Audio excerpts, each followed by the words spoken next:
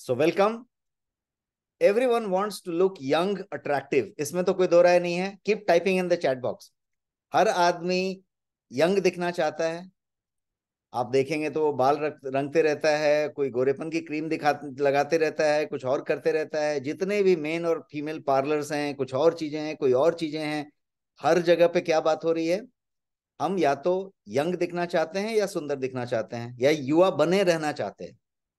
Youthful skin की बात करते हैं, हर आदमी इसकी बात करता है बट जैसे जैसे साल बीतता है, जैसे जैसे उम्र आगे बढ़ती है, आपका जो स्किन है, जो कि शरीर का पूरा का पूरा आवरण है, वो जो है आपके एजिंग का आईना बन जाता है और उससे झलकने लगता है कि भाई एज जो है बढ़ रही है। सही है? एजिंग एक्चुअली एक नेचुरल प्रोसेस है, वो हम भी जानते हैं, आप भी जानते हैं, सब लोग जानते हैं। नेचुरल प्रोसेस है एजिंग तो सबकी होनी है। जो जन्मा है, उसको बूढ़ा होना है और उसको ये होना है। लेकिन एजिंग में प्रॉब्लम कहाँ पे जब आ जाती है कि जब हम जो है, उसके लिए यदि ये कहें कि भाई एजिंग हो रही है, इसके लिए यूथफुल लुक का सेक्रीफाइस कर देंगे तो वो नहीं होता है। वहाँ पे दिक्कत है इस सेशन का पर्पस वही है कि हम बात करने जा रहे हैं कि हम क्या एजिंग हो रही है तो एजिंग के चक्कर में हम बोले कि भाई हम अपना यूथफुल लुक भूल जाते हैं, वो भूल जाते हैं, कहाँ पे प्रॉब्लम आती है? तो एजिंग नेचुरल प्रोसेस है। प्रॉब्लम कहाँ पे है कि pace of ageing is important pace of ageing is important वो किस स्पीड में एजिंग हो रही है, ये सबसे ज़्यादा क्रिटिकल चीज़ है। एजिंग तो सबकी हो रही है। तो प्रॉब्लम क्या है? Untimely ageing premature ageing ये प्रॉब्लम है। सब अग्री हैं? Please type yes no in the chat box क्योंकि हम प्रॉब्लम पे आ जाएँ, तब क्योंकि पूरे सेशन हम से सोल्यूशन पे बात करने जा रहे हैं। तो प्रॉब्लम क्या है? Ageing is not a problem वो तो सबको होना है, जो आया है उसको जाना है। जो बच्चा है उसको बड़ा होना है, बूढ़ा होना है। लेकिन untimely ageing premature ageing problem है। कारण क्या है इसका? प्री मेच्योर एजिंग का कारण बोल रहा हूँ। इसका कारण क्या है? अनटाइमली एजिंग का कारण क्या है? कुछ आप बताते जाए चैट बॉक्स में, यदि आप इंटरेक्टिव हैं तो। कारण क्या है? फैक्टर्स की यदि बात की जाए कि क्या क्या फैक्टर हैं जो अनटाइमली एजिंग में हमको धकेलते हैं या हमारा अनटाइमली एजिंग करा देते हैं? क्या लगता है आपको? खान पान रुचा जी कह रही हैं lifestyle amazing wonderful wonderful answers you are giving तो आप आप सिंक्ड हैं हमारे साथ? यस yes, आपने जो आंसर दिए हैं एकदम आसपास सारे के सारे आंसर सही हैं। मैं उनको टेबुलेट कर देता हूँ। आपने सारे आंसर दे दिए लगभग। पहला तो things you eat you are what you eat ऐसा कहा जाता है ना?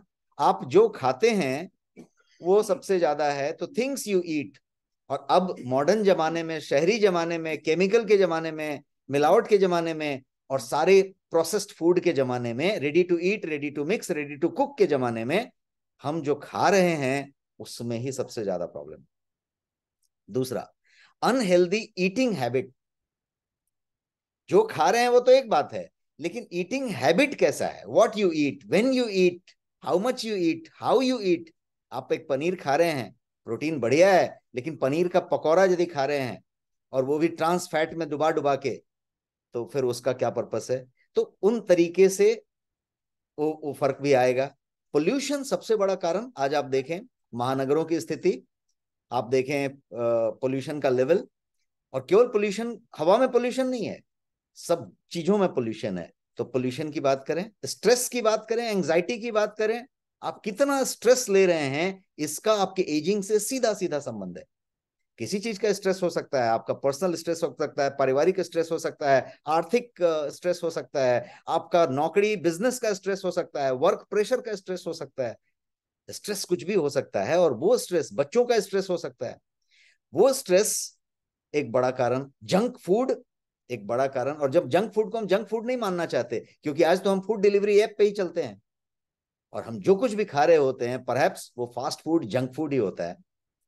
पुअर लिवर और स्लगिश लिवर एक बड़ा कारण बन सकता है, स्मोकिंग एक कारण बन सकता है, अल्कोहल दारू पीने वाले का एक कारण बन सकता है। दवाइयाँ जो हम खा रहे हैं, डॉक्टर के बताने पे या बिना बताए, दवाइयाँ जो हम खा रहे हैं दबा के दवाइयाँ खा रहे हैं, वो भी एक बहुत बड़ा कारण है। तो ये तो बात हुई फैक्टर्स की, कि अर्ली एजिंग के भाई क्या क्या फैक्टर्स हैं, या प्री मैच्योर एजिंग के क्या क्या फैक्टर हैं। अब ये प्री मैच्योर है या टाइमली एजिंग है, ये कैसे पता करें? हाउ टू डिफ्रेंशिएट मैंने आपसे एक सवाल पूछा आप मुझे चैट में रिप्लाई दें। मेरा, मैं 52 इयर्स का हूँ, मेरा यदि कोई एज दिख रहा है तो ये यदि एजिंग हो रही है तो ये टाइमली एजिंग हो रही है कि प्री मैच्योर एजिंग हो रही है, ये कैसे पता करें?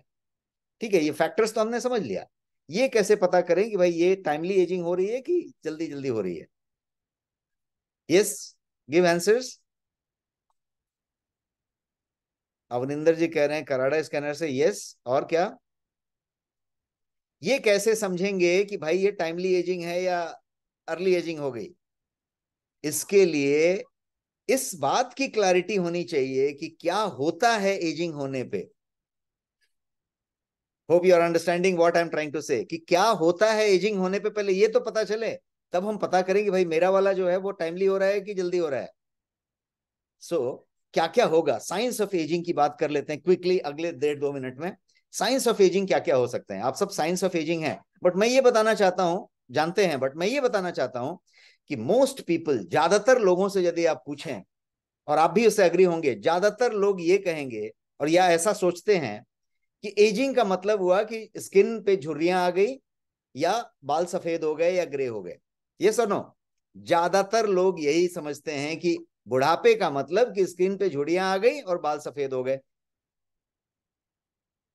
बट इज़ इट दैट ऐसा है क्या? अभी तो आप देखें तो तीस साल की उम्र वाले का भी बाल सफ़ेद हो जाता है, बाल झड़ जाता है। होता है कि नहीं? तो अब तो वो वाली चीज़ को कनेक्ट करेंगे, भाई बाल सफ़ेद हो गए, स्किन में रिंकल्स आ गए तो भाई हम बूढ़े हो गए। दैट्स नॉट द थिंग इसलिए आइए जानते हैं कि एजिंग होने पर सही में क्या क्या इशू होता है या सही में क्या क्या इशू को हम एजिंग कह सकते हैं साइंस के हिसाब से। तो क्विकली हम रन करेंगे, जैसा मैंने बोला, डेढ़ दो मिनट में इस बात को खत्म करेंगे, क्योंकि ये सब प्रस्तावना है, ताकि मैं आपको अपने सब्जेक्ट पे प्रॉपरली बता पाऊँ। तो सबसे पहले तो साइंस ऑफ़ एजिंग में हम लेते हैं कि साइंस ऑफ़ एजिंग क्या क्या है। ग्रे हेयर है हेयर फॉल है स्किन सैगिंग है डार्क स्पॉट है एज स्पॉट जिसको कहते हैं कि आपके चेहरे पे कोई स्पॉट्स आने लग गए। रिंकल्स हैं, झुर्रियाँ पड़ने लग गई स्किन ढीला पड़ने लग गया टैडनेस है, आपको थकान होती है एनर्जी लेवल आपका कम होता है या फिर आपका बैटरी डाउन होने लगता है सिंपल लैंग्वेज में बोले तो जल्दी डाउन होने लगता है, आप दोपहर के बाद थका थका सा महसूस करते हैं, या फिर आपको कैफीन निकोटीन की बहुत सारी ज़रूरत पड़ती है, छुट्टा लगता है या चाय कॉफ़ी लगता है बार बार तो ये जो पूरा का पूरा प्रोसेस है, ये तो हुआ। लेकिन एक और चीज़ आती है जिसमें कि आप अपने स्ट्रेस को स्ट्रेस ज़्यादा हो रहा है, स्ट्रेस किसी को हो सकता है, लेकिन आप स्ट्रेस को हैंडल कैसे करते हैं? आप अपने इरिटेशन को मैनेज कैसे करते हैं? तो यदि आप अपने स्ट्रेस और इरिटेशन को मैनेज नहीं कर पा रहे हैं, हैंडल ठीक से नहीं कर पा रहे हैं तो ये एजिंग की लक्षण दे रहा है कि ये हो रहा है। How you react to your stress और anxiety lack of laughter, lack of charm is also ageing. आप देखेंगे कि बच्चा जो है एकदम बढ़िया से मुस्कुराता रहता है, हंसता रहता है, उसको ज़्यादा टेंशन नहीं रहता है। जैसे जैसे आप एजिंग होते जाते हैं, आप गंभीर होते जाते हैं सीरियस रहते हैं, आप मुस्कुराना ही भूल जाते हैं, आपके चेहरे का चार्मिंग खत्म हो जाता है। तो ये यदि कम हो रहा है तो ये भी एजिंग है। तो ये तो एक बोलचाल की भाषा में हम आप जैसा समझ रहे हैं, उसके हिसाब से हमने आपको कुछ रीजंस बता दिए। Now let us talk about मैं कुछ साइंस के बातें बताऊँ कि जो जो आपका जो है एजिंग से कनेक्टेड है, और मैं चाहूँगा कि आप एक एक को रिलेट करें अपने से। आप जिस उम्र में भी हैं, हो सकता है कि आप पैंतीस साल के हो सकता है आप सत्तर साल के हो, अस्सी साल के हो, आप जिस एज में भी हैं, आप इसको रिलेट करें कि मैं जो एक अभी पॉइंट रखूँगा, उसको आप रिलेट करें कि आप उसमें कहाँ पे हैं। क्विकली आप अपने मन में, और डिसीज़न भी अपने पास ही रखें। Let us talk about quickly. सबसे पहला तो चेंज इन कार्डियोवेस्क्यूलर सिस्टम।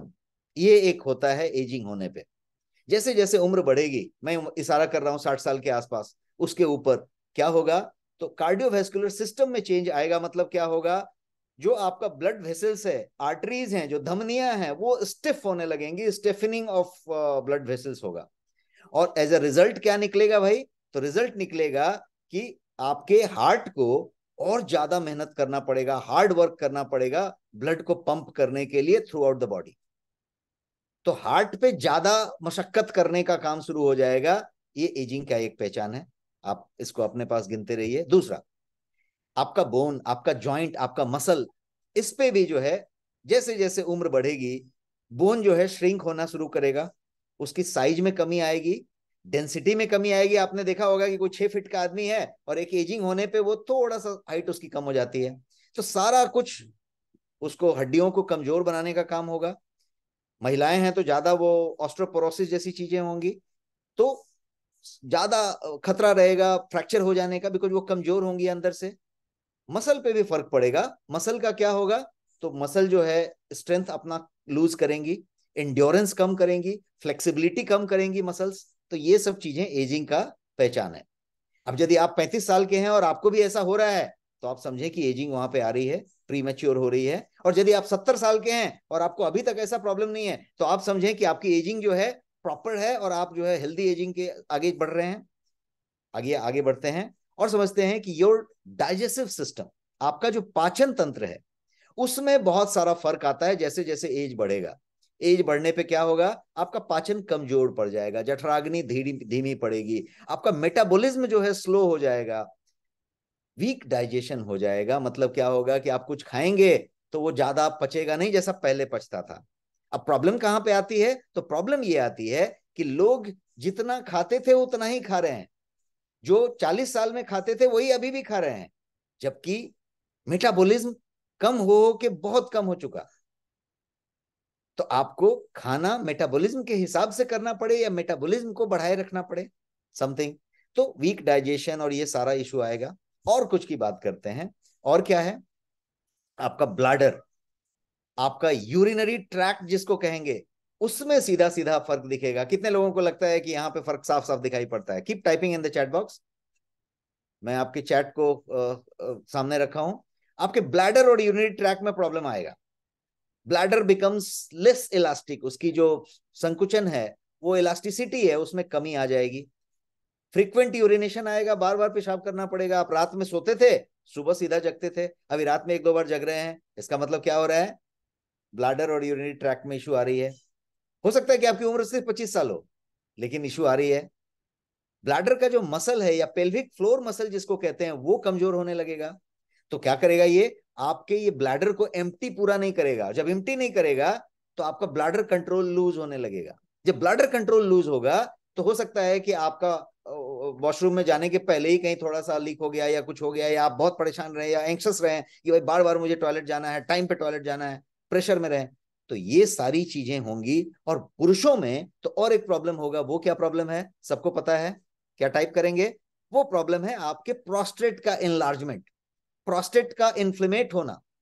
तो प्रोस्टेट इनलार्जमेंट होगा और वो चीज़ जो है, वो आपको एक अलग तरीके के प्रॉब्लम्स क्रिएट करेगा। तो ये ब्लैडर यूरिनरी ट्रैक्ट जो है आपको एजिंग पे देगा। मेमोरी और थिंकिंग पे काफ़ी फ़र्क पड़ता है। पड़ता है यस और no keep typing memory thinking पे बहुत फ़र्क पड़ता है। आपका ब्रेन जो है, बहुत सारे चेंजेस से गुजरता है, जैसे जैसे हमारी उम्र बढ़ती है। और होता क्या है कि ये मेमोरी को अफेक्ट करना शुरू कर देता है। आपके थिंकिंग की एबिलिटी को अफेक्ट करना शुरू कर देता है। आपके सोचने की क्षमता थिंकिंग का तरीका, उस पर फ़र्क पड़ने लग जाता है। ये बात होती है। और इसीलिए हम बोलचाल की भाषा में क्या कहते हैं कि कोई बुज़ुर्ग ने कुछ बोला तो बोलचाल की भाषा में स्लैंग लैंग्वेज में कह देते हैं कि वो सठिया गए हैं एज हो गई है, सठिया गए हैं। भले वो बोलचाल की भाषा में गलत बोल दिया, लेकिन एक्चुअली में एकदम बुज़ुर्ग आदमी जो है थोड़ा सा थिंकिंग उनका प्रोसेस डिफरेंट हुआ। और इसी में देखिएगा कि कोई बुज़ुर्ग जो हमेशा एक्टिव है, कोई मोबाइल पे कर रहा है, कोई लिख रहा है, कोई देख रहा है, कोई बात कर रहा है वॉक कर रहा है तो देखिएगा उसका ठीक ठाक रहेगा। मैं बताते जा रहा हूँ कि कैसा होएगा वो। वो वैसा ठीक ठाक रहेगा, जो सुडोकू खेल रहा है, कोई पजल कर रहा है, कोई चेस खेल रहा है, कोई बातें कर रहा है, अपने दिमाग को यदि चला रहा है तो वो है, यदि आइडल छोड़ रहा है तो वहाँ पे धीमा पड़ते चला जाएगा। So protecting the brain is important अपने ब्रेन को प्रोटेक्ट करना है, और इसके लिए ये इंतज़ार मत करिए कि अभी तो सत्तर साल के हुए नहीं है, अभी अस्सी साल के हुए नहीं है, अभी क्या जल्दी है? बिल्कुल जल्दी है। ये कब कहाँ से असर शुरू करेगा? आपको इस पे अलर्ट रहना है आपका ब्रेन एक ही ब्रेन है, उसको बहुत संभाल के रखना है। Now let us talk about आपके आईज के बारे में, आपके ईयर्स के बारे में। इस पे भी फ़र्क पड़ता है, ये सनो। जैसे जैसे उम्र बढ़ती है इसमें भी फ़र्क पड़ता है। दिखाई और सुनाई देने में तकलीफ़ होने लगती है, बोलते हैं, ऊँचा सुनते हैं, उसको दिखता नहीं है। ऐसे प्रॉब्लम आते हैं कि नहीं? आप अपने घर में देखेंगे कि यदि कोई सीनियर है आपके घर में तो टीवी का वॉल्यूम जो है बहुत ज़्यादा रहेगा। आपका कान फटेगा, लेकिन उनको पता नहीं चल रहा है। क्यों? क्योंकि सुनाई दिखाई में बहुत फ़र्क आ गया, पहले में और अभी में। आई साइट में प्रॉब्लम आता है। डिफिकल्टी हो गया किसी चीज़ पे फोकस करने में। एजिंग से एक और चीज़ होगा कि आई के लेंस पे असर आएगा। और सिंपल चीज़ होती है कि वो आपका क्लाउडिंग हो जाएगा, उसके ऊपर धुंधला दुधिया परत चढ़ जाएगा। क्या बोलते हैं उसको? क्या बोलते हैं? सब लोग ऑपरेशन कराते रहते हैं। कैटरैक्ट मोतिया बिंद कितने लोग सुनते रहते हैं ना? कि भाई एक एज में मोतियाबिंद हो गया। अब एक आदमी ने, समझ लीजिए कि पैंसठ साल का हुआ, सत्तर साल का हुआ, उसने मोतियाबिंद का ऑपरेशन कराया। और मुझे अभी एक, पिछले वीक, कोई हमारे, पहचान के हैं बिज़नेस से रिलेटेड तो हमें पता चला कि वो फोर्टी थ्री ईयर्स के हैं और उनका मोतियाबिंद का ऑपरेशन हो गया। आपने भी सुना होगा कि मोतियाबिंद का ऑपरेशन हो रहा है बहुत सारे लोगों का, जो कि अभी चालीस और पचास के बीच में है। तो ये डिपेंड कर रहा है कि आपने उस आँख को कैसे संभाल के रखा, आपने उस कान को कैसे संभाल के रखा आपने कान का क्या किया? आपने वो ईयरबड डाल के वो पॉट डाल के खूब ज़ोर ज़ोर से म्यूज़िक सुना दिन भर आप वो किए, कान का क्या किया? आप कान का क्या ख्याल रखा? इस पे डिपेंड करेगा कि भाई वो कान कितना साए साए करेगा, कितना घन घन करेगा, कितना सुनेगा, कितना नहीं सुनेगा। तो कान का, आँख का भी फ़र्क पड़ेगा। ऊँचा सुनाई देने लगता है मतलब ये डिफिकल्टी होगी। सुनने में तो डिफिकल्टी होगी, लेकिन हाई फ्रीक्वेंसी सुनने में डिफिकल्टी होगी। तो इसीलिए देखिए, बहुत सारे वो टेस्ट आते हैं आजकल। आपके व्हाट्सएप में भी आ जाते हैं आजकल। तो जिसमें कि कहते हैं कि ये फ्रीक्वेंसी नहीं सुनाई पड़ी मतलब आप इस साल के हो या इस साल के हो या इस साल के हो। होता ना ऐसा? तो वो फ्रीक्वेंसी है, जो बता रहा है कि उतनी फ्रीक्वेंसी तक आप सुन पा रहे थे, उसके बाद के एज में उतनी फ्रीक्वेंसी नहीं सुन पाएँगे। लेकिन पता चला कि साठ साल के फ्रीक्वेंसी को आप चालीस में ही नहीं सुन पा रहे हैं। ऐसा होता है ना? तो ये मैं बात कहना चाह रहा हूँ कि आँख और कान का ख्याल रखने की ज़रूरत पड़ेगी। टीथ, ये एक ऐसा चीज़ है जो हमेशा इग्नोर्ड है। क्या आपको पता है कि टीथ सबसे ज़्यादा बुढ़ापे का साइन है? यदि आप दांत का डेंचर कोई लगाता है आपके घर में और वो निकाल के रखे तो आप देखिएगा वो कैसे दिखते हैं। और ये टीथ पे हम तब तक ध्यान नहीं देते, तब तक बिल्कुल ध्यान नहीं देते। हम सुबह एक बार ब्रश कर लिए, शाम को रात को एक बार ब्रश कर लिए तो बहुत हो गया। हम बिल्कुल ध्यान नहीं देते और बिल्कुल नहीं समझते कि ये दांत दोबारा नहीं आएगा। हम बिल्कुल नहीं जानते कि ये दांत का एक ट्रांसप्लांट करना कितना डिफ़िकल्ट हो जाएगा। तो वो वाली चीज़ है और टूथ डिके हो जाएगा पूरा एजिंग से तो उसके बाद क्या होगा? पूरी दांत लगेगी। लेकिन आप देखेंगे कि बहुत लोग आपको बुज़ुर्ग ऐसे मिलेंगे कि जो कि दांत से गन्ना खा रहे हैं और वो बढ़िया से सब कर रहे हैं और कोई प्रॉब्लम नहीं है। तो दांत, एक तो हुआ कि डेंचर लग गया आपका, लेकिन उसके बाद क्या होगा मालूम है? दांत का जो मसूरा है वो श्रिंक होता चला जाएगा। और उस पर जो डेंचर लगा हुआ है वो अब उसमें ढीला हो जाएगा, फिट नहीं बैठेगा। अब आपको वो डेंचर दूसरी बनानी पड़ेगी, फिर तीसरी बनानी पड़ेगी मतलब वो श्रिंक होता चला जाएगा। तो दांत अपने आप में एक पूरा का पूरा सब्जेक्ट है और इसका ध्यान बहुत ज़्यादा रखने की ज़रूरत है। दिस इज़ समथिंग आपका वज़न भी बहुत इंपॉर्टेंट है। वज़न इसलिए इंपॉर्टेंट है कि जैसे जैसे आपका एज बढ़ता है, आपका बॉडी जब कैलोरी बर्न करता है मतलब मेटाबॉलिज्म हो रही है। तो जो ये मेटाबॉलिज्म है, वो एज के साथ साथ धीमा पड़ता चला जाता है, धीरे होता चला जाता है। और फिर क्या होता है कि आपकी एक्टिविटी डिक्रीज होने लग जाती है। और तब आप उतना ही यदि खा रहे हैं जितना यूजुअल खाते थे तो क्या होगा? आप वेट गेन करेंगे। बट ऐसी प्रकार बहुत कम होती है, संपन्न और बहुत ज़्यादा वैसे लोगों में ही हो रही है। ज़्यादा प्रकार कहाँ पे हो रही है? और धनी लोगों में भी दूसरी वाली प्रकार हो रही है। वो प्रकार क्या है? तो वो प्रकार है कि आपका वेट कम होता चला जाएगा, गिरता चला जाएगा, गिरता चला जाएगा। मतलब इस लेवल पे चला जाएगा कि जो आपका एसेंशियल मसल्स हैं हिप के पीछे, इधर, उधर जिसपे कि आपको सपोर्ट चाहिए, वो मसल्स भी कम होते चले जाएँगे और आप जो है, आपका जो मसल्स है वो धीरे धीरे धीरे धीरे मतलब गलता जाएगा, ऐसा बोल सकते हैं आप। ज़्यादा से ज़्यादा बुज़ुर्ग लोगों को आप देखें तो वैसा है ये सो नो टाइप करें, ऐसा आपको दिखता है कि ज़्यादा से ज़्यादा बुज़ुर्ग लोगों का वो मसल जो है वो कम होता चला जा रहा है। वो वज़न कम होता चला जा रहा है, जिसको सार्कोपेनिया कहते हैं। और वो ज़्यादा होता है, वहाँ पे ध्यान देने की ज़रूरत है, क्योंकि वो तेज़ी से मसल कम होता चला जाएगा, बाद में आप उसको रिवर्स नहीं कर सकते। वहाँ पे आप ठहरा सकते हैं, रुका सकते हैं। अब आप अपने कोर्स में लीजिए, और बिल्कुल इस पे बात पे ये मत करिए कि अभी तो मैं तो चालीस साल के हूँ। आप अभी से ध्यान रखें कि आपका मसल गेन हो, मसल लॉस नहीं हो, ये ध्यान रखना है। फैट गेन नहीं हो, मसल गेन हो। अब बात करते हैं सेक्सुअलिटी की। सेक्सुअलिटी में भी काफ़ी फ़र्क पड़ेगा। जैसे जैसे उम्र बढ़ेगा एज के हिसाब से आपकी सेक्सुअल नीड आपका परफॉर्मेंस काफ़ी कुछ फ़र्क पड़ता चला जाएगा। वुमेन के लिए वजाइनल ड्राइनेस जैसी चीज़ें मेन के लिए इम्पोर्टेंसी जैसी चीज़ें, एक अच्छा खासा कंसर्न बनती चली जाएँगी और ये सेक्सुअलिटी की बात हुई। अब बात करते हैं कॉज ऑफ़ एजिंग की। ये सब तो हमने समझे कि भाई भाई क्या क्या पता चलेगा। तो आपने नोटिस किया कि क्या क्या पता चलेगा। कॉज ऑफ़ एजिंग की बात करें और साइंस की बात करें तो एक कारण आता है और वो कारण है ऑक्सीडेटिव डैमेज आखिर ये एजिंग होता क्यों है? ऑक्सीडेटिव डैमेज ये मेजर थियरी है ऑक्सीडेटिव डैमेज वाला, क्योंकि ये थियरी ये कहता है कि हमारा मेटाबॉलिज्म ही कारण है हमारे एजिंग का।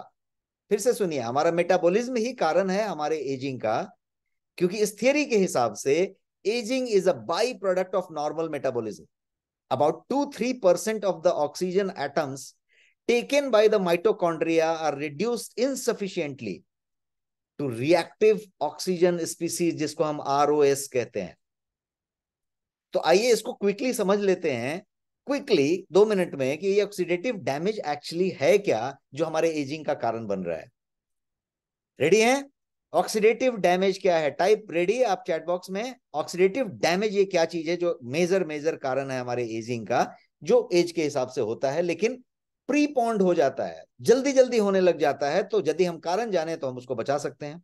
मैंने एक ऑक्सीडेटिव स्ट्रेस को समझाने के लिए एक तस्वीर यहाँ रखी है। सबसे लेफ़्ट साइड वाला आपका नॉर्मल सेल है। शरीर असंख्य कोशिकाओं से बना है trillions and trillions of cell ये एक सेल है उसमें का, असंख्य कोशिकाओं में का एक कोशिका है।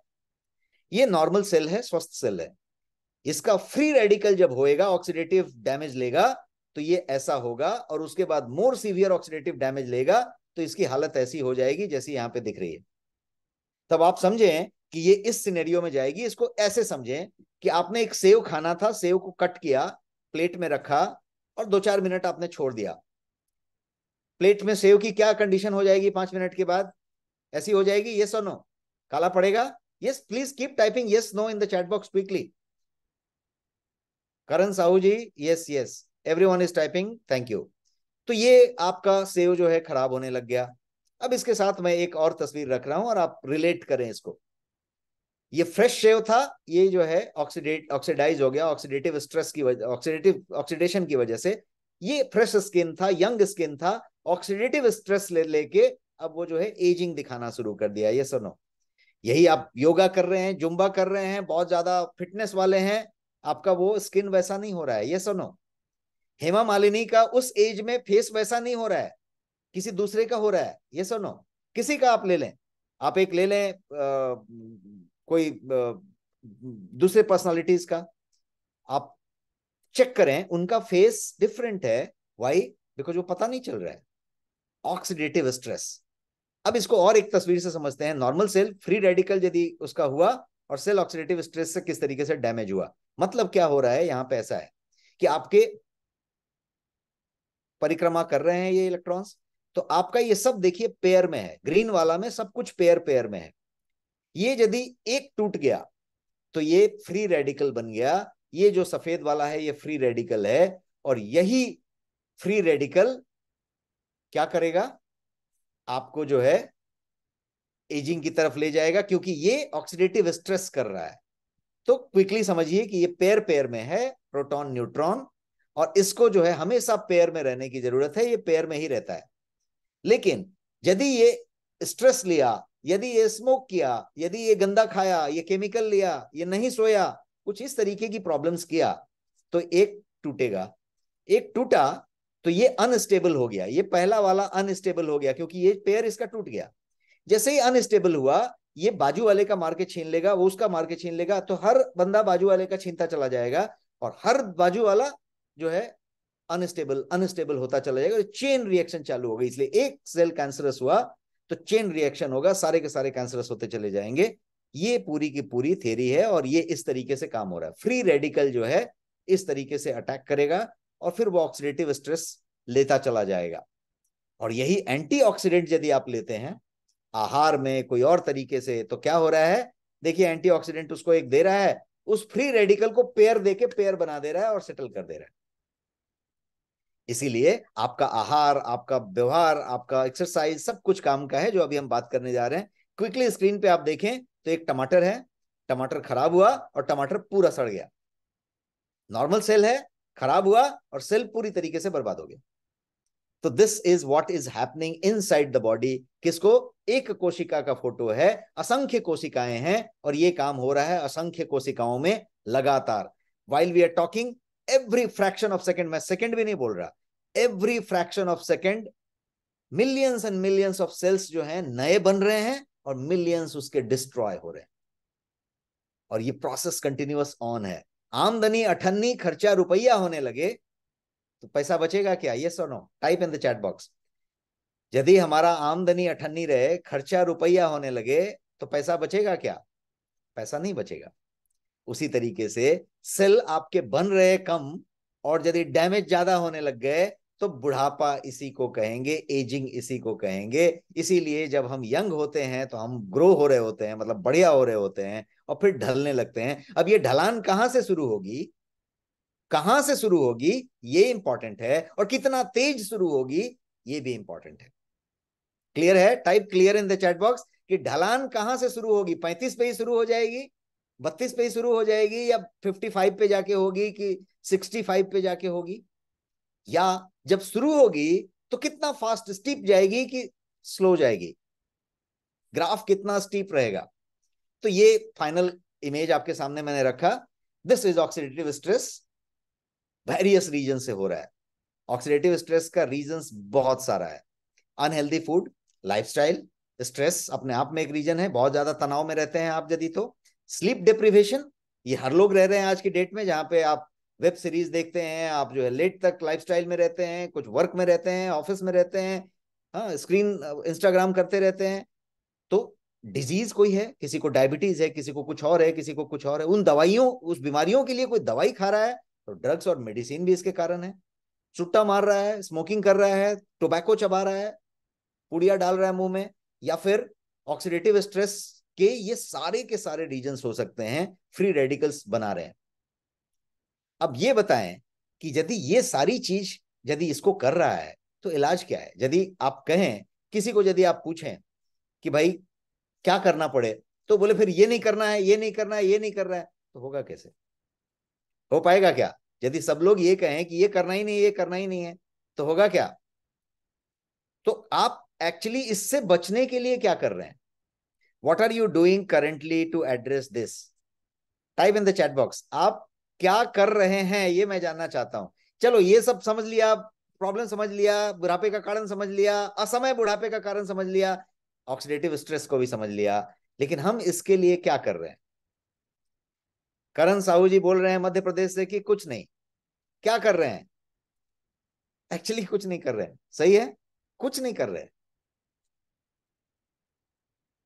कुछ लोग लिख रहे हैं, लीवर किडनी क्लींस कर रहे हैं सप्लीमेंट ले रहे हैं, कुछ एक्सरसाइज कर रहे हैं। अमेजिंग तो बहुत सारे लोग कुछ कर रहे हैं, पर यदि ज़्यादातर लोगों से आप पूछेंगे कि भाई ये ऑक्सीडेटिव स्ट्रेस के लिए क्या कर रहे हैं तो एक्चुअली कुछ नहीं कर रहे। और यदि कुछ कर भी रहे हैं तो वो क्या कर रहे हैं?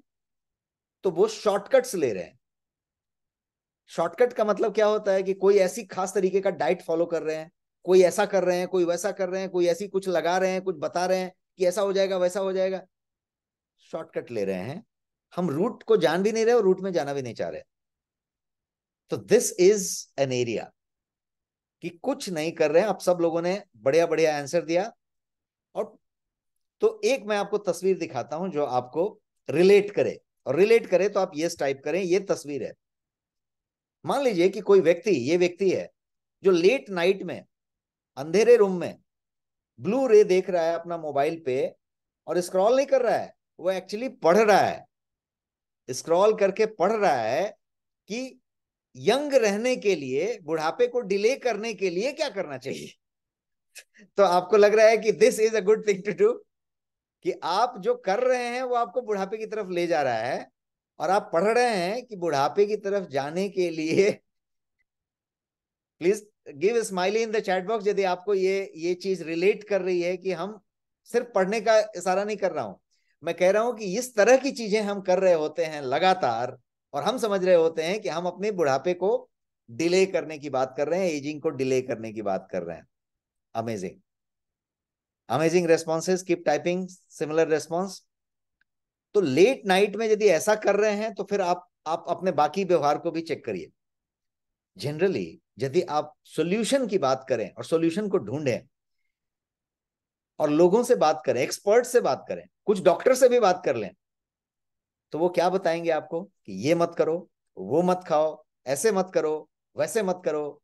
होता है कि नहीं? ये सुनो और बहुत सारे ऐसे चीज़ जो आपको बताए जाएँगे जिससे आप कन्विंस्ड हैं, लेकिन आप उसको नहीं कर सकते। मैं मान लो कि बताऊँ कि नहीं, ऐसा करने से ऐसा होता है, ऐसा नहीं करना चाहिए, ऐसा नहीं करना चाहिए। तो कोई शौक से तो कर नहीं रहा है। मान लीजिए एक मिनट कि आपके बहुत सारे दोस्त हैं और दोस्त समोसा ही खाते हैं।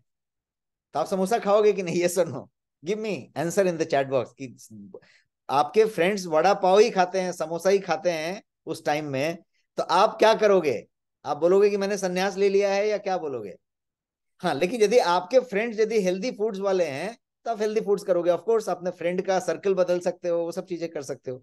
लेकिन वड़ा पाव या समोसे का एग्ज़ाम्पल देके मैं आपको सिर्फ़ ये बताना चाहता हूँ कि लोग जो हैं बहुत सारा चीज़ ले लेते हैं कि ये तो पॉसिबल नहीं है ये तो पॉसिबल नहीं है। तो फिर पॉसिबल क्या है? तो फिर सीधे सीधे एजिंग की तरफ़ जाना ही पॉसिबल और तो कोई तरीका है नहीं।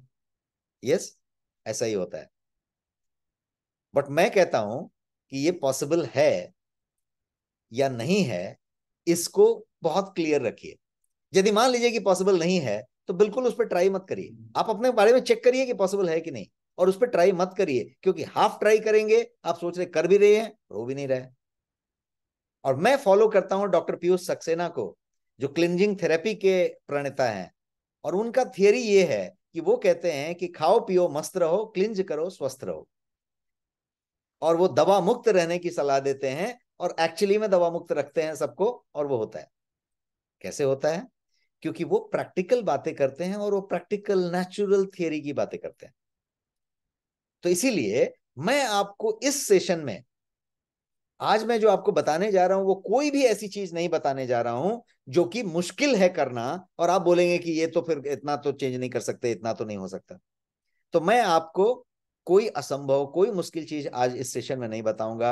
I am to I am going to give you nine secrets nine powerful secrets जो कि ऐसे चुटकी बजा के आप इनकॉर्पोरेट कर पाएँगे और वो इतने आसान होंगे कि अपने डे टू डे हैबिट्स में बिना कोई बड़ा बदलाव लाए आप उनको अप्लाई कर सकते हैं और बारी बारी से यूज़ कर सकते हैं। Are you ready nine super secrets मैं आपको देने जा रहा हूँ ताकि आप अपने एजिंग को स्लो डाउन कर सकें और कुछ हद तक रिवर्स भी कर सकें। अमेजिंग और भी रेडी चाहिए मुझे? जितने लोग हैं, सब लोग से रिक्वेस्ट है कि आप टाइप करें रेडी बिकॉज़ मैं आपको नाइन वो हैबिट्स देने जा रहा हूँ अभी। Nine secrets to slow down your ageing और वो सारे के सारे सीक्रेट्स आसान होंगे प्रैक्टिकल तरीके से अप्लाई करने वाले होंगे और सारे के सारे हंड्रेड परसेंट नेचुरल होंगे। और भले आप इसका नोट बना लें अपने पास, अब उसको ध्यान में रखें और हो सकता है कि नौ में से तीन ही आप अप्लाई कर पाए। अगले महीने एक और अप्लाई करिएगा, दो महीने के बाद पांचवा भी अप्लाई करिएगा, कोई फ़र्क नहीं पड़ता। बट स्लो एंड स्टडी धीरे धीरे धीरे धीरे बिना कोई बड़ा बदलाव लाए आप उसको इस्तेमाल कर सकते हैं। And I am really overwhelmed कि आप लोग इतना सारा रिस्पॉन्स मुझे दे रहे हैं। सारे लोग रेडी हैं almost everyone is ready and that's really amazing loving this response और आप ऐसे ही अपना रेस्पॉन्स बनाए रखिए। अब मैं बात करता हूँ इन नौ रिस्पॉन्स uh, इन इनके बारे में। बट इन सीक्रेट्स को शुरू करने के पहले मैं आपको ये बताऊँ कि सारे के सीक्रेट सारे के सारे जो सीक्रेट्स मैं आपको देने जा रहा हूँ, वो बेस्ड हैं इनसाइड इनसाइड आउट अप्रोच पे। पूरी की पूरी जो एजिंग है ना, ये काम करती है इनसाइड आउट अप्रोच पे। कहने का मतलब कि मेरे चेहरे पे यदि झुर्रियाँ आने लग गई तो मैं यहाँ पे कौन सा क्रीम लगाऊँगा? इससे झुर्रियों का संबंध कम होगा, मैं अंदर क्या करूँगा, उससे कम संबंध ज़्यादा होगा। इनसाइड आउट मैं क्या खाऊँगा मेरे बॉडी के अंदर, क्या डालूँगा, उस पर ज़्यादा फ़र्क पड़ेगा, इसके बजाय कि मैं ऊपर क्या लगाऊँगा और कौन सा ट्रीटमेंट कराऊँगा। मेरे बाल में यदि प्रॉब्लम आ रही है तो मैं बाल का सलून में और उसमें जाके पार्लर में क्या करवाऊँगा बाल का, इस पे कम असर होगा, ज़्यादा असर इस बात पे होगा कि मैं बाल को न्यूट्रिशन क्या दे रहा हूँ, पोषण क्या दे रहा हूँ, बाल का केयर क्या कर रहा हूँ स्काल्प का हेल्थ का क्या कर रहा हूँ। अग्री है क्या आप मेरे से? तो ये कहते हैं इनसाइड आउट अप्रोच और ये नेचुरल अप्रोच है। यही अप्रोच हमारे बुज़ुर्ग लेते थे, हमारे पेरेंट्स हमारे पिताजी, हमारे दादाजी नाना जी लेते थे और तब देखिए कि वो अभी तक स्वस्थ हैं और स्वस्थ रहते थे। क्यों? क्योंकि उनका अप्रोच इनसाइड आउट था। अभी का अप्रोच आउटसाइड से हम अंदर डालते कि भैया ये कर लेंगे हम। तो ये वाली चीज़ मैं आपको दे देना चाहता हूँ। नाइन बेनिफिट बताने के पहले सॉरी सीक्रेट्स बताने के पहले ताकि आप एकदम क्लियर रहें कि सारे के सारे सीक्रेट इनसाइड आउट अप्रोच पे हैं और इसीलिए बड़े आसान हैं, बड़े सिंपल हैं और आप इसको आराम से कर सकते हैं। तो चलिए, हम एक एक करके समझते हैं। ध्यान से सुनिएगा। अब चलिए मैं आपको सीक्रेट देता हूँ एक एक करके, वन बाय वन। सबसे पहला सीक्रेट, गुड स्लीप। अब आप कहेंगे कि इसमें नया क्या है? भाई सब लोग कहते हैं कि सो जाना। नया है। मैं आपको बड़े आसान तरीके से बता रहा हूँ कि गुड स्लीप आप कैसे ले सकते हैं। बिना बहुत बड़ा बदलाव किए हुए। सबसे पहले तो आइडियल स्लीप हैबिट को आप फॉलो करें। अब मैं कैसे आसान बता रहा हूँ, उसको ध्यान से सुने। आप जो है, अपने आइडियल स्लीप हैबिट को फॉलो करें और इसको दोनों तरीके से देखें स्लीप को आप। दोनों तरीका क्या है कि स्लीप जो आपका है, वो एज के साथ कम होता चला जाता है। अग्री है आप?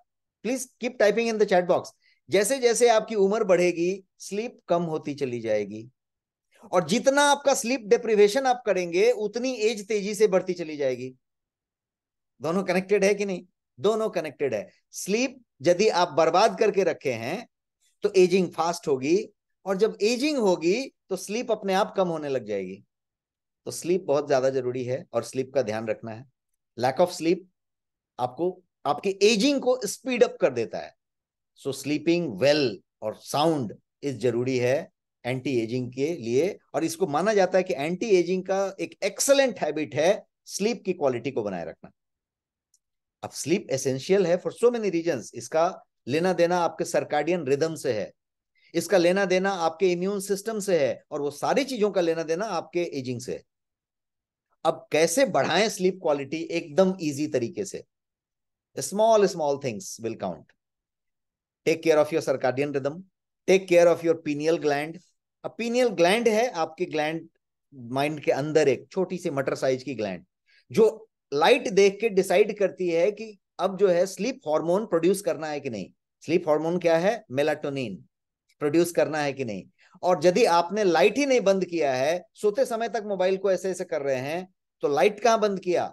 एलईडी लाइट में आप हैं और मोबाइल में हैं और स्क्रीन में हैं और टीवी में हैं तो मेलाटोनिन तो बनाया नहीं ना।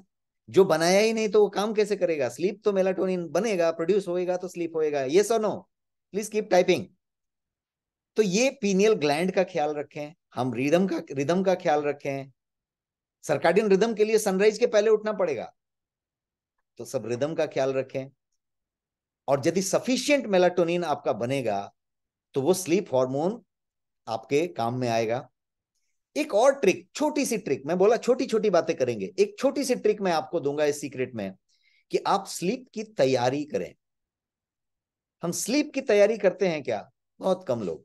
हम हर चीज़ की तैयारी करते हैं ये सर नो मीटिंग की तैयारी करते हैं, कहीं जाने की तैयारी करते हैं, घूमने जाने की तैयारी करते हैं वॉक पे जाने की तैयारी करते हैं स्लीप पे जाने की तैयारी करते हैं क्या? ये सुनो मैं कहूँगा कि शायद आप पूछ लेंगे तो नब्बे पंचानवे परसेंट लोग, शायद निन्यानवे परसेंट लोग स्लीप की तैयारी नहीं करते। एक ऐसी चीज़ जो सात आठ घंटे के लिए आप करने जा रहे हैं, जिससे आपकी पूरी लॉन्जिविटी का रिपेयर का एजिंग का रिजुविनेशन का, सबका लेना देना है डिटॉक्सिफिकेशन का लेना देना है, उसकी हम कोई तैयारी नहीं करते।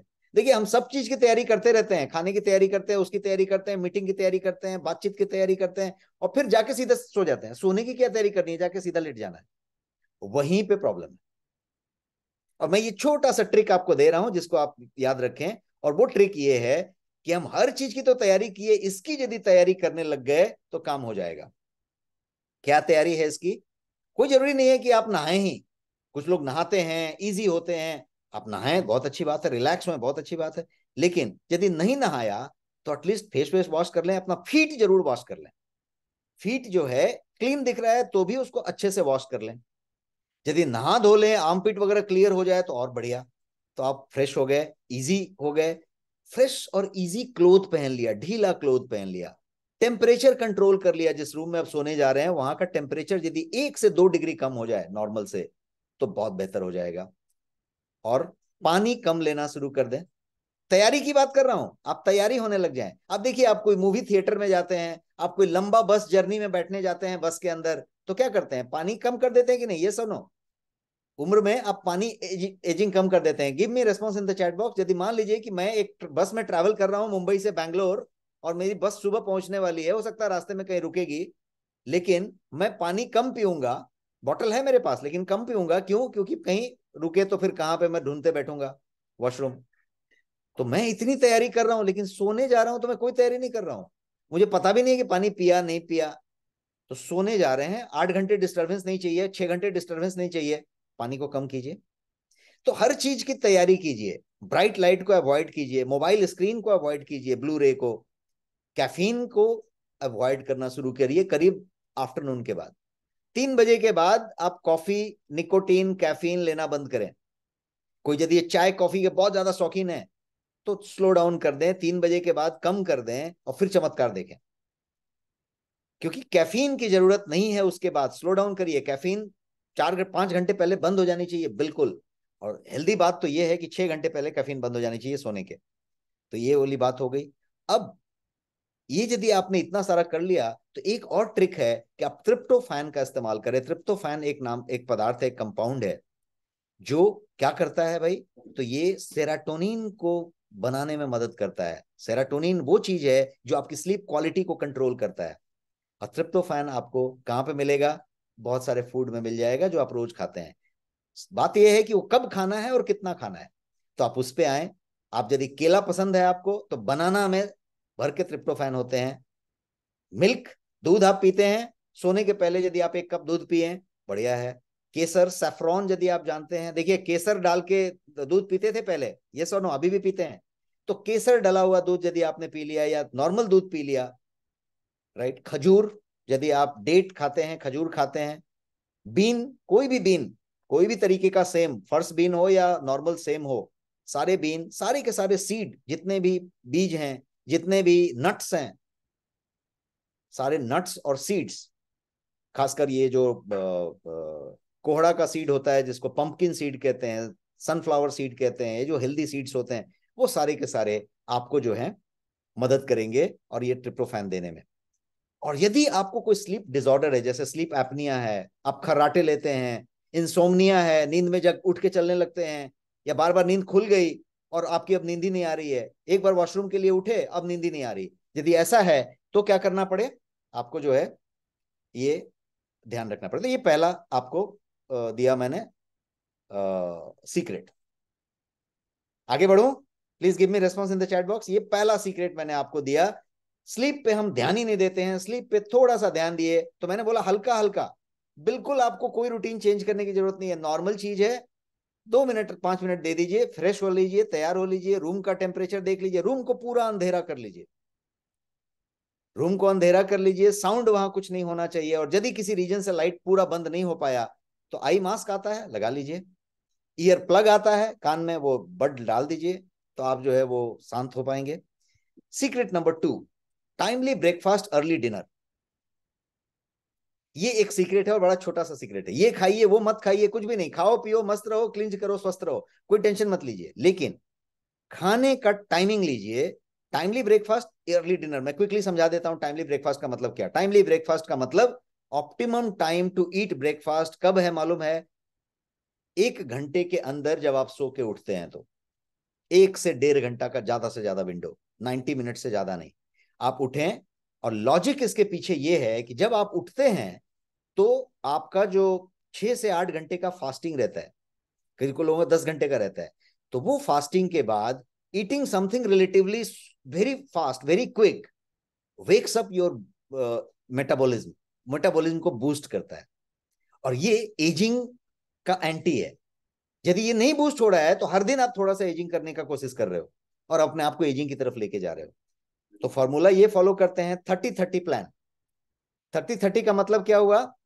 कि thirty grams of protein within thirty minutes of waking जब आप उठे, उसके तीस मिनट के अंदर तीस ग्राम प्रोटीन आपने ले लिया। कुछ भी हो सकता है, ड्राई फ्रूट आपने ले लिया, आपने कुछ ले लिया तो ये बहुत सारी चीज़ें हो सकती हैं। अर्ली डिनर, पे आते हैं अभी। अर्ली डिनर क्या है?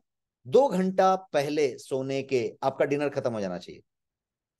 Early dinner helps to improve your sleep quality improves your digestion improves your, boost your metabolism. तो ये सारी सारी चीज़ें आपका ब्लड प्रेशर को कंट्रोल में रखता है, ब्लड प्रेशर को रिड्यूस करता है। और यही सारी चीज़ें हैं। अर्ली डिनर और एक चीज़ करता है, सरकाडियन रिदम को सिंक करता है, आपके स्लीप वेक साइकिल को सिंक करता है और ये आपके एजिंग को रोक के रखता है, ठहरा के रखता है, स्लो तो कर ही देता है। और बहुत लोगों के लिए ये बहुत डिफ़िकल्ट है कि अर्ली डिनर कैसे करें, भाई, हम ऑफ़िस से ही नौ बजे आते हैं, हम अभी तक लेक्चर दे रहे हैं, आप लेक्चर सुन रहे हैं तो ये अर्ली डिनर कैसे करें? तो इसके लिए थोड़ा छोटा छोटा बदलाव काम आता है। आजकल बहुत सारी चीज़ें शुरू हो गई है। मैं मुंबई में रहता हूँ और मैं यहाँ देख रहा हूँ कि सारे ऑफ़िस में और चीज़ों में अब टिफ़िन शुरू हुई जो कि इवनिंग की टिफ़िन है। Seven thirty, seven forty, eight o'clock के अंदर अंदर ऑफ़िस में टिफ़िन डिलीवर होते हैं। वो लोग जो नौ बजे तक ऑफ़िस में रहते हैं, साढ़े आठ बजे तक ऑफ़िस में रहते हैं। मतलब टिफ़िन खा के फिर वो निकल जाते हैं। क्यों? क्योंकि उसके बाद आधे घंटे वो ट्रैवल में, एक घंटे ट्रैवल में है घर के रास्ते पे हैं। तो ये सुनिश्चित कर रहे हैं कि घर जाके खाना नहीं खाएँगे। घर जाके बातचीत करेंगे और सो जाएँगे। तो ये जो बदलाव आ रहा है, तेज़ी से लोग इसको अडॉप्ट कर रहे हैं तो अपने सहूलियत से आप ये बदलाव ले सकते हैं। Yes give me yes in the chat box मैं क्विकली सीक्रेट नंबर तीन की तरफ़ बढ़ रहा हूँ। सीक्रेट नंबर थ्री ये है कि stay active stay active and exercise regularly ये कोई बड़ा सीक्रेट नहीं है, ये सब लोग जानते हैं। एक्सरसाइज करेंगे तो इन्फ्लेमेशन कम होगा, इसमें कोलाजन सेल्स बनेंगे और इसमें जो आपकी बायोलॉजी है जिसमें सेलुलर लेवल पे जो काम हो रहा है, वो होगा और ये आपके एजिंग को कम करेगा। जो एक्सरसाइज करते हैं, उनके साथ जो चीज़ें होती हैं, वो ये है कि टेलोमेरस जो होते हैं, वो आपके जो क्रोमोजोम के जो एंड्स हैं, उनका जो कैप होता है, उसको बढ़ाते हैं। तो कैप जो है, वो यदि आपने यदि एक्सरसाइज नहीं किया तो शॉर्टन होती चली जाती है और यदि एक्सरसाइज किया है तो कैप बड़ी होती है। तो कार्डियो एक्सरसाइज यदि करते हैं आप तो वो क्या करता है, इसको और ज़्यादा हाई इंटेंसिटी वर्कआउट यदि करते हैं तो वो एंड्योरेंस ट्रेनिंग करते हैं तो वो क्या करता है तो टोलोमर्स को वो बेटर करता है देन द रेजिस्टेंस ट्रेनिंग तो इसलिए हाई इंपैक्ट को ज़्यादा प्रेफर किया जाता है और आप इसको ये करते हैं। तो ये हुआ आपके बढ़ने का। लेकिन माइटोकॉन्ड्रिया जो आपकी चीज़ है, जिसको पावर हाउस कहते हैं, आपके पूरे के पूरे सेल को जनरेट करने का, वो जो एनर्जी का पावर हाउस है आपका, जिससे एजिंग आपका डिसाइड होता है कि आप ओल्ड हैं कि एजिंग है उसका लेना देना सीधे सीधे आपके स्टे एक्टिव से है। और ये पूरा का पूरा चीज़ है। अब बात करते हैं हाइड्रेशन की। सीक्रेट नंबर चार। और हाइड्रेशन क्या चीज़ है? हाइड्रेशन मतलब आप पानी पीते हैं, कितना पानी पीते हैं, कितना हाइड्रेट रहते हैं। क्या आपको मालूम है कि there is a super link between hydration and ageing process hydration यदि नहीं रहेगा तो एजिंग बहुत ज़्यादा फास्ट होगी। ये इतना ज़्यादा स्ट्रॉन्ग लिंक है। और हम सोचते हैं कि पानी पीना एक नॉर्मल बात है। पानी का मतलब कोई भी लिक्विड की बात करें हाइड्रेशन ऐसा मानते हैं कि decrease body water content is the most common factor that increases serum sodium in your body and serum sodium यदि बढ़ा तो आपका जो हाइड्रेटेड होने वाली जो बात है, यदि रखे हैं आप मेंटेन तो वो इसको स्लो डाउन कर देता है और वो स्लो डाउन एजिंग प्रोसेस को स्लो डाउन कर रहा है। तो आप युवा बने रहते हैं तो sleeping water is that great good hydration can slow down your ageing sure shot. आप दिन भर पानी आप सिप कर सकते हैं, आपके सामने टेबल पे पानी रख सकते हैं ग्लास में पानी भर के ढक के रख सकते हैं, एक पानी का बॉटल रख सकते हैं। आपको और एक राज की बात आज बताता हूँ, कि water keeps your body hydrated and maintains your skin elasticity ये जो स्किन की इलास्टिसिटी है ना, सपलनेस है जो इलास्टिसिटी है, उसको बढ़ाने का काम ये हाइड्रेशन करता है और हम पानी को ध्यान नहीं देते, हम कभी बहुत ज़्यादा पी लिया, नहीं पिया, भूल गए, रह गए। इसीलिए यदि आप सिप करते रहेंगे पानी तो आपको स्कार्स नहीं होंगे रिंकल्स नहीं होंगे फाइन लाइंस जो बन रहे हैं, वो नहीं आएँगे, देर से आएँगे एज स्पॉट्स नहीं आएँगे और आप अपने एजिंग को ठहरा पाएँगे। और पानी को पीने का रीजन ढूंढिए, कारण ढूंढिए मेक इट अट्रैक्टिव पानी पीना अट्रैक्टिव होना चाहिए। अरे, मज़ा आया पानी पीने में। मेक इट ड्यूएबल कि हम बार बार पी सके। ऐसा नहीं कि पानी रख दिया है दूसरे रूम में, अब उठने कोई दिक्कत हो रही है। पानी सामने होना चाहिए, आपके हाथ में होना चाहिए डुएबल होना चाहिए। इजी बनाइए इसको। How to make it attractive कोई सजेशन अट्रैक्टिव कैसे बना सकते हैं? तो अट्रैक्टिव ऐसा बना सकते हैं कि एक सिंपल सा ट्रिक लीजिए। आप पानी का बॉटल लीजिए। प्लास्टिक का बॉटल छोड़िए। आपके पास आजकल बहुत अच्छे अच्छे बॉटल्स अवेलेबल हैं बाज़ार में। स्टील के बॉटल हैं कॉपर के बॉटल्स हैं। आप एक अच्छा सेक्सी बॉटल लीजिए, जो एकदम बढ़िया आपको पसंद आता हो, ताकि आपको अट्रैक्ट करे वो। उसका तरीका ढूंढिए, उसमें कुछ डालिए। लेमन वाटर पीजिए जिंजर वाटर पीजिए, जीरा पानी पीजिए, या फिर कोई ड्रॉप्स आते हैं बहुत सारे। वेलनेस ड्रॉप्स जैसे करक्यूमिन ड्रॉप हो गया एंटीऑक्सीडेंट ड्रॉप हो गया, तुलसी ड्रॉप हो गया, कोई भी डालें, पानी का टेस्ट भी बेहतर हो जाएगा और सिप करते रहें थोड़ा थोड़ा सिप करते रहें। तो ये आपकी एजिंग का एक बहुत नायाब फॉर्मूला हो सकता है। दिन भर पूरा गटगट पीने की ज़रूरत नहीं है। एक ही लीटर पानी पीजिए, दो लीटर पीजिए, लेकिन सिप करते रहिए थोड़ा थोड़ा थोड़ा थोड़ा दिन भर। Manage your stress secret number five मैं नौ सीक्रेट बताने वाला हूँ अगले पाँच मिनट में। तो मैनेज योर स्ट्रेस स्ट्रेस को कैसे मैनेज करेंगे? बोलेंगे, भाई स्ट्रेस तो सबको हो रहा है। स्ट्रेस को कैसे मैनेज कर सकते हैं? आप कर सकते हैं।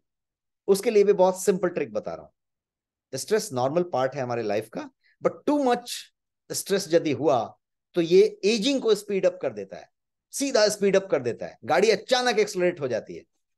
तो stress impacts almost all the system of your body सारे सिस्टम चाहे वो नर्वस सिस्टम हो, चाहे वो आपका एंडोक्राइन सिस्टम हो, सारे के सारे हार्मोन प्रोडक्शन की बात हो, हर जगह पे ये जाके प्रॉब्लम करता है। और जो आपका स्ट्रेस हार्मोन है, जिसको कॉर्टिसोल कहते हैं, उसको जो है ये बढ़ाना शुरू करता है।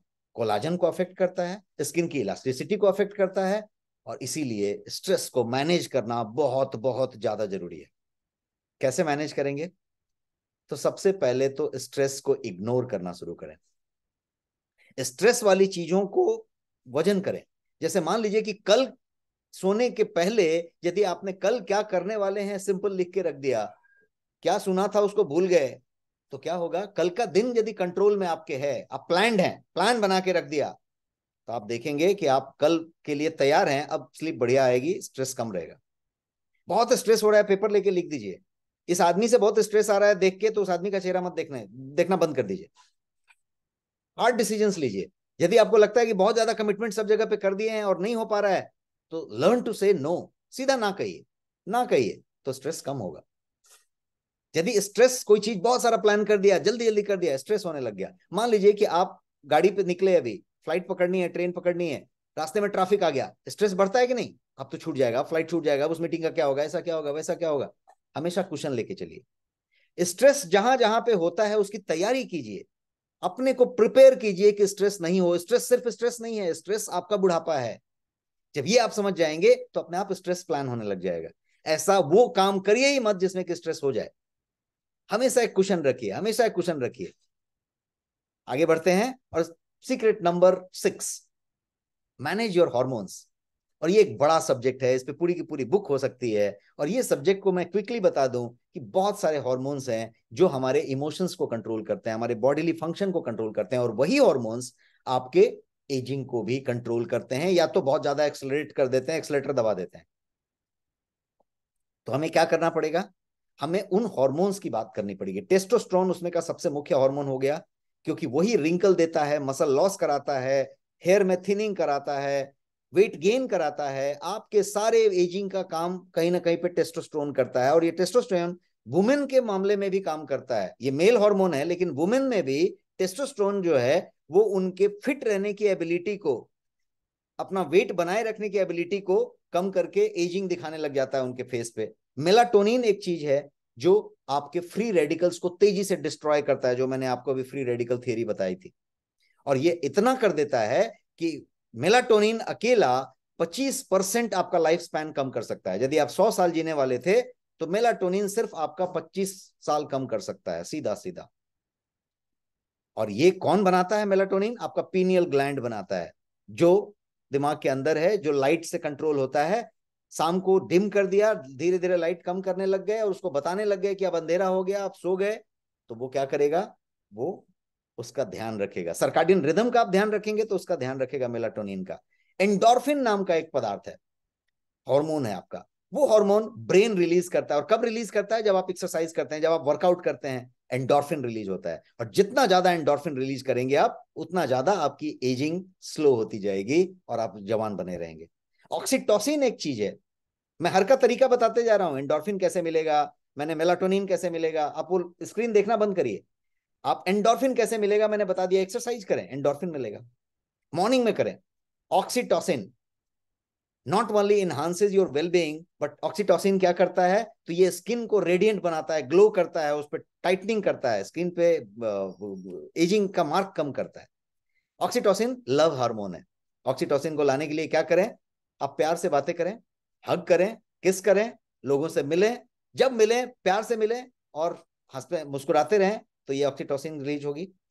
और भी कुछ इंपॉर्टेंट हॉर्मोन्स हैं, जैसे एक डीएचईए है, जिसे literally fountain of youth hormone कहते हैं। एक और है एसीटीएच एसीटीएच को बॉडी का स्ट्रेस हार्मोन कहा जाता है।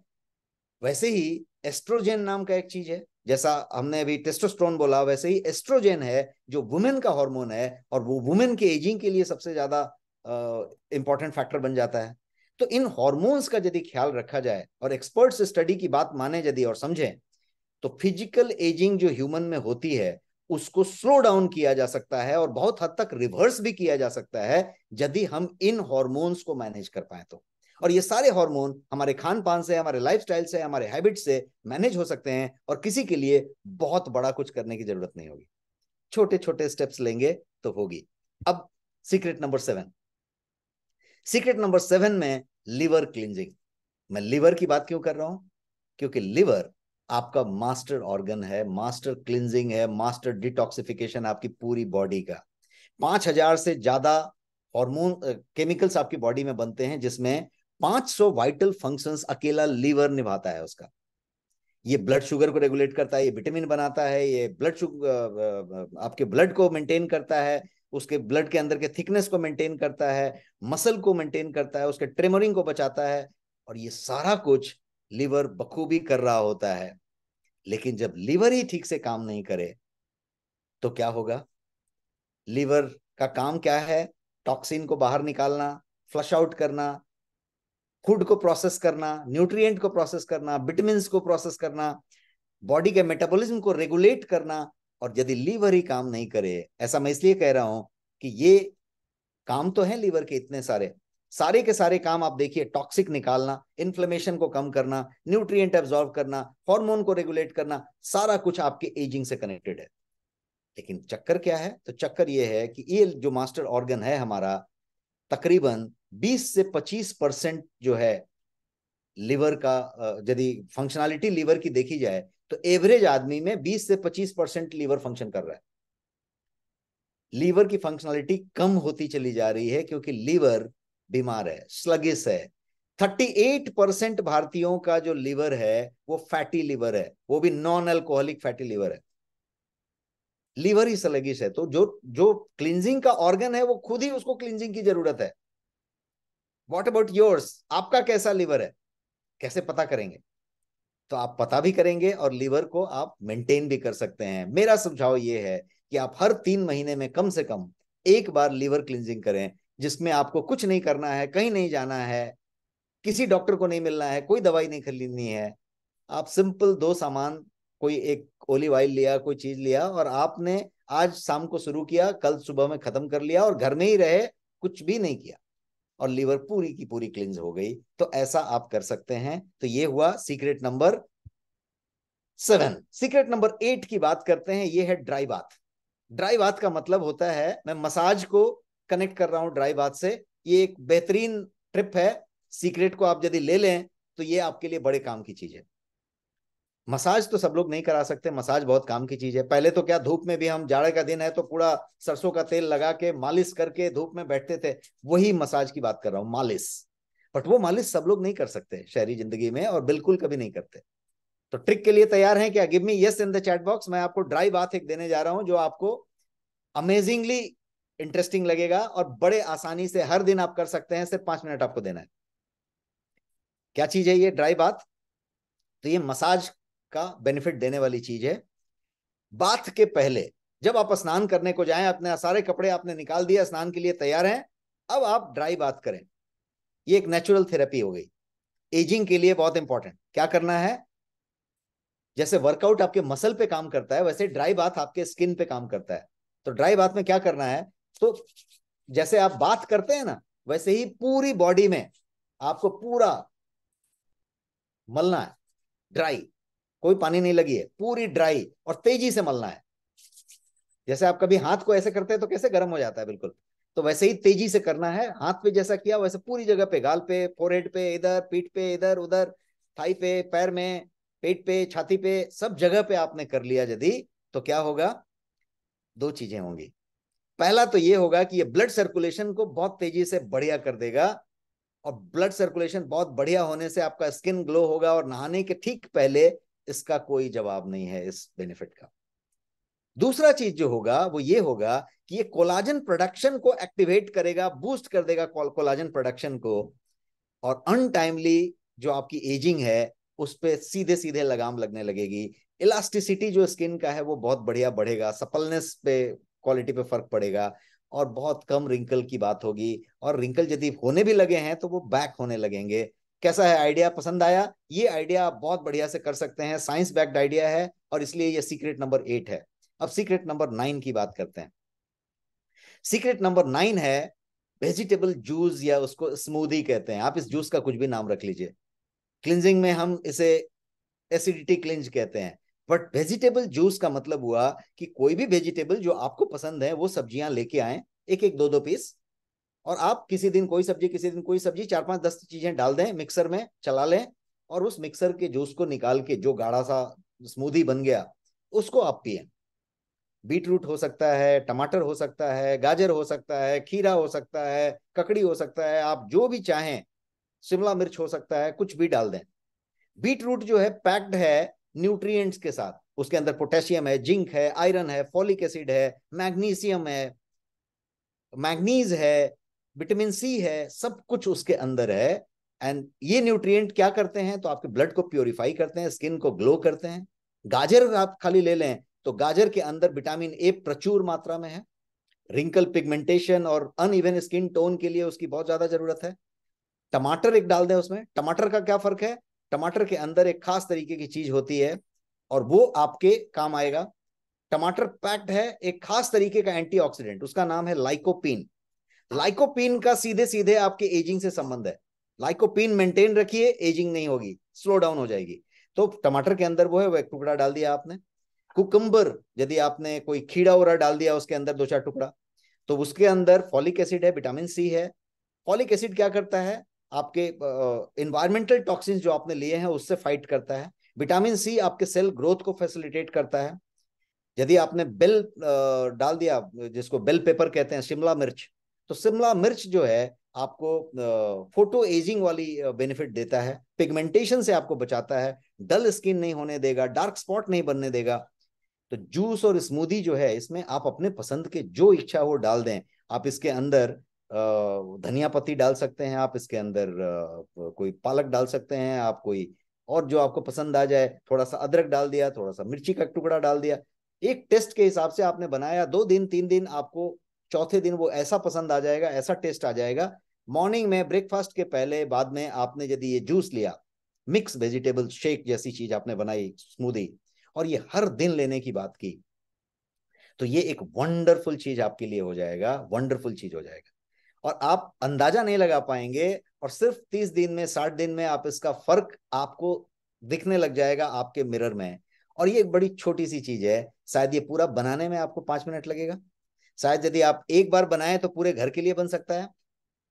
यदि इसका सिस्टम आपने किचन में डाल दिया, कितने लोग इसको ट्राई करेंगे? Please type yes in the chat box कितने लोग को लगता है कि this is a wonderful thing that you can start और आप कल संडे है, कल से स्टार्ट करें।